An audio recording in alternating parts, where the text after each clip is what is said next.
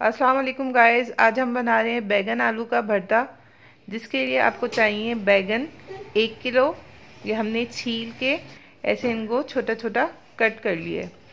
एक पाव आलू चाहिए होंगे जस्ट फॉर टेस्ट हमने दो आलू लिए इनको छील के ऐसे छोटा छोटा कट कर लिए। और मसाले हमको जो चाहिए, उसमें ज़ीरा एक टेबल स्पून साबुत लाल मिर्च आठ से दस चाट मसाला हमारे पास है half teaspoon chaat masala, काली मिर्ची half teaspoon crush chilli एक टेबल स्पून, सौफ हाफ़ टी स्पून, हल्दी हाफ़ टी स्पून, नमक हसब ज़रूरत। हमारे पास ये टमाटर हैं, दो से तीन अदद। इनको फ्रीज़ हुए हुए थे। ये प्यूरी है टमाटरों की। और ये चिल्ली की प्यूरी है मतलब पीस के। ये हमारे पास कलौजी है और हाफ़ क्यूब हम यूज़ करेंगे। इसके साथ हरी मिर्चें, हरा धनिया और थोड़ा सा पुदीना हमने लिया है। ये लास्ट में हम इसमें ऐड करेंगे। सबसे पहले अब हमको चूल्हे पे एक पतीली रखनी है। उसके अंदर हमने ऑयल डालना है। ऑयल हम डिश के दो बड़े चम्मच मैक्सिमम डालेंगे। और थोड़ा ऑयल हमें लास्ट में ऐड करना है इसमें। अब हमने इसमें ज़ीरा, साबुत लाल मिर्च और हाफ़ टी स्पून लहसुन अदरक का पेस्ट डाल दिया। अब हमें इसमें सारे मसाले ऐड करेंगे।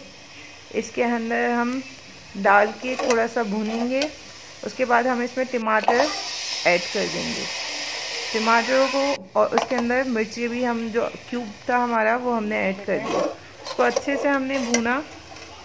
अच्छे से भूनेंगे जब तक ये ऑयल नहीं छोड़ देता जैसे ही आपका मसाला ऑयल छोड़ देता है, इसके अंदर आप आलू ऐड करेंगे। आलू ऐड करने के बाद आप इसमें बैगन ऐड कर देंगे और इसको अच्छे से मिक्स करना है। बैगन ऐड कर दीजिए। अब आप इसको अच्छे से मिक्स करेंगे। मिक्स करें mix mix mix mix mix ये देखें, कुछ इस फॉर्म में आ जाएगा ये मिक्स करने के बाद। अब आप इसमें एक ग्लास भर के पानी ऐड करेंगे। और थोड़ा सा ज़्यादा भी ऐड कर सकते हैं ताकि आपके बैगन और आलू अच्छे से गल जाएँ और बिल्कुल सॉफ्ट हो जाएँ। थोड़ा भुरता फॉर्म में आ जाए जैसे। अब हमने इनको मिक्स करा और इसको अब आप कवर कर दीजिए। इसको 10 से 12 मिनट के लिए आपने कवर रखना है।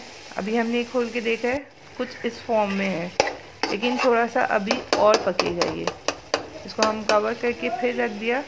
थोड़ी देर बाद देखें आप ये ऐसे हो गया। इसने ऑयल छोड़ दिया। थोड़ा सा आप मैश करें इसको।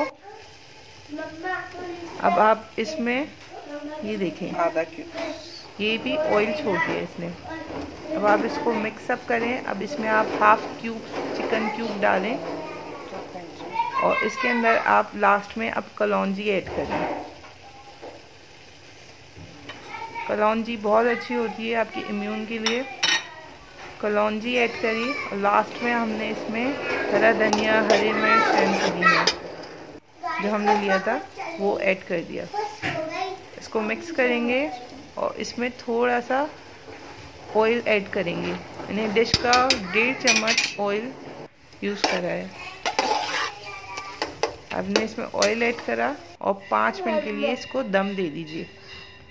लीजिए आपका मज़ेदार मज़ेदार सा भुट्टा रेडी है। देखें कितना डिलीशियस लग रहा है। ऊपर हल्की सी गार्निशिंग कर दीजिए। और ये झटपट सा बैगन आलू का भुट्टा आपका रेडी है।